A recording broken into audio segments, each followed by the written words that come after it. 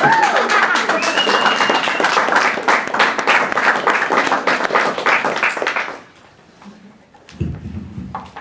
next scene, Jesse and Becca, who work together at the local radio station,